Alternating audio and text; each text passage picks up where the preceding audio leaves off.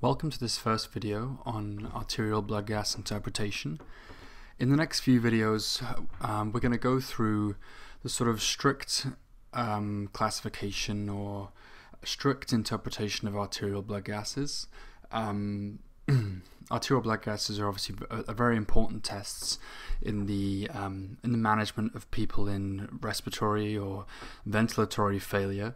Um, they're a good, very good way of assessing acid-base balance in the body and, and monitoring people's oxygenation and ventilation status th throughout various stages of disease. Now, what I'm not going to do in this video is is go too much into the detail of how we draw arterial blood gases, where they're drawn from, what the indications and contraindications for, for sampling are. Um, I think there's there's better videos out there on the internet to, that you can that you can watch to to um, to gain an understanding of, of that side of things. One that I would ve- recommend very highly is the uh, New England Journal of Medicine have um, have uh, videos in clinical medicine, and they and they have one on, on arterial blood gas sampling, and it's very very good. Um, it takes you through all the indications and contraindications. So I recommend watching that perhaps before, if you haven't already, but um, perhaps go and watch that now before before we get started with this, because it will really make things make a little bit more sense. So in these videos, what we're going to do is we're going to look at um, do that. We're going to look at the strict classification for arterial blood gases and I'll explain what that is a bit more in a minute. So we have strict classification, that sort of strict interpretation, and that has to be paired with that has to be that has to be classified whilst considering clinical context. So then, we're going to spend less time talking about clinical context, um, but we should always be aware that when we're interpreting arterial blood gases, we must be paying attention to clinical context. so this really forms a, a, little bit of a cycle here. We have the, the classification, which I'm going to teach you in the next few videos, and but that must be paired with, with clinical context. That must be interpreted whilst whilst considering what's happening clinically. so this systematic approach that we have to um, to the strict classification really looks at, at three main things. So the first thing we're going to look at is the acid base status of the blood. Okay, whether or not we're acidic or basic or uh, alkalotic, as we may say. Um, so we're going to look at that acid base status. The second thing we're going to look at is what is the primary disturbance? What's the primary thing that's causing any change in acid base status? So we're going to be calling this the basic, not to be confused with alkali. I don't mean basic in the sense of being more alkali. I mean basic as in being simple. Basic primary disturbance. So basic primary disturbance.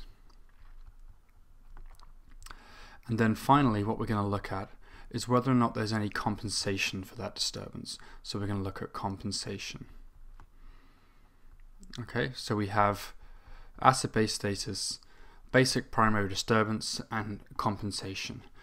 Now, the text that I've been using, the reference I've been using for this um, for these videos is a book by William Malley. It is called Clinical Blood Gases: Assessment and Intervention. I'm using the second edition. It's a it's a very very good book. I recommend getting it if you don't have it already. But that will be the reference for most of the videos we have. So let's jump right into it. In Malley, um, we talk about a strategy for Uh, interpreting arterial blood gases. And he uses this sort of ABC approach, which I really quite like. So we're looking at the ABCs of ABGs. So he has this ABC approach. And you'll notice that how we have A, B, C. So we're talking about acid base, basic primary disturbance, and compensation.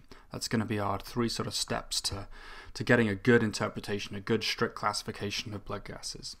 So as I mentioned, the first step is is just this um, acid base status. So let's find a color for acid base. Maybe we'll use red as it's about blood. So we have the acid base. Acid base. So what do we mean by that?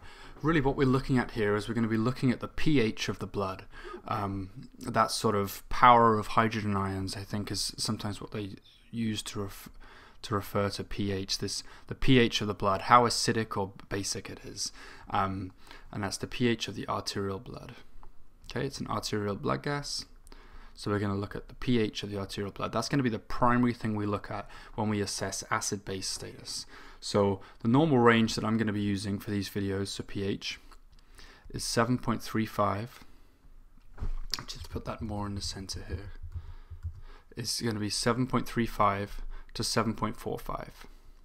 Now, at the institution that you're at, that, that, that normal range may differ very slightly, but it's, it's going to be pretty close to that. And this is a widely accepted normal range for um, arterial pH. so, and what we're going to be looking at with this pH is whether or not we are acidic. So acidic would be on the lower end of the pH. So maybe we'll draw a little arrow here, acidic, or whether or not we are alkalotic alkalotic. So also could be referred to as basic.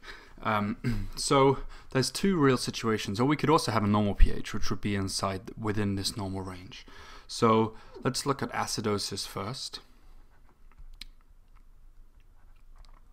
So acidosis. So acidosis is just a condition in the blood where the blood is more acidic than it should be. It's outside of this normal range. So it's going to be when the blood is, is less than the pH of the blood is less than 7.35, right? So our pH is less than 7.35. That is the lower limit of our normal range. So that's when we're going to have a, a situation of acidosis. Now, acidosis is generally generally has a depressive effect on the body, on on the central nervous system, I should say. Generally depressive.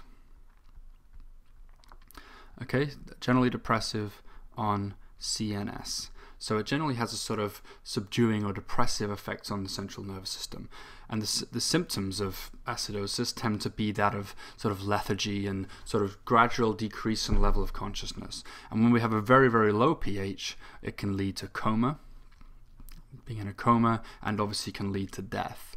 We generally accept in medicine that a pH less than 6.8, 6.80 for a extended period of time is is not compatible with life.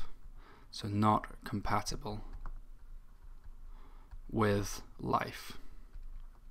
Okay, so we don't really accept a, a pH of less than 6.8 for very long. The body cannot uh, cope and cannot maintain its function at very, very low pH like this.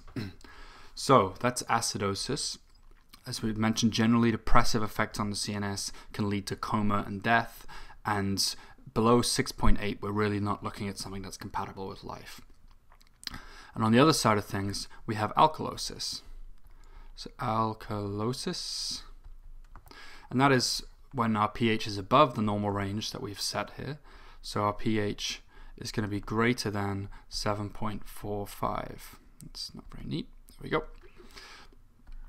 Now, what effect does this have on the body? And as you may have already started to guess, it's going to be a, a, a, kind of an opposite effect of what acidosis has. Alkalosis is generally generally causes a sort of excitatory effect on the on the CNS. It generally excites excites the CNS.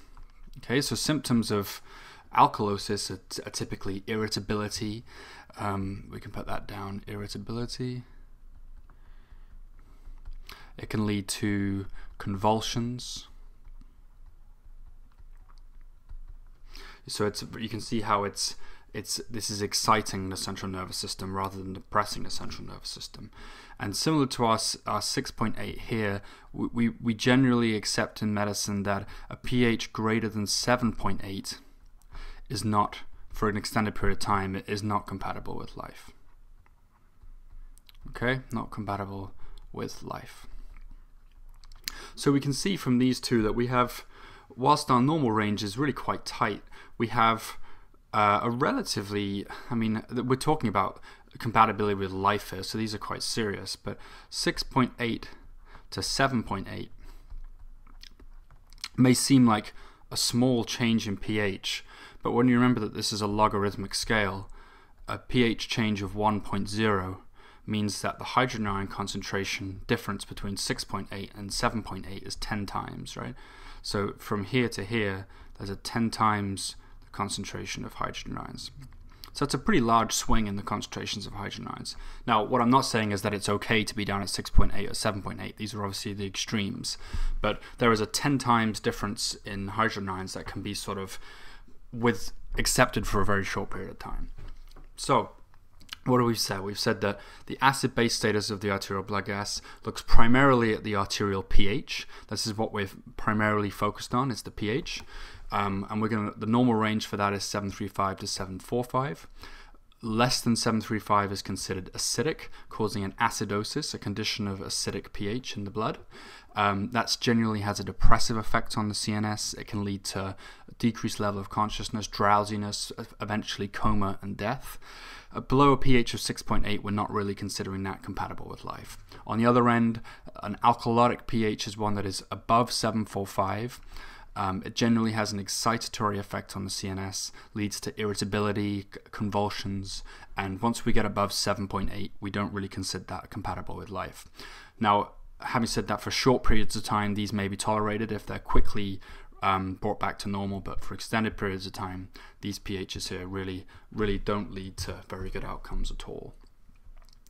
In the next video, we'll have a quick look at, we'll start to look at the next part, our basic primary disturbance.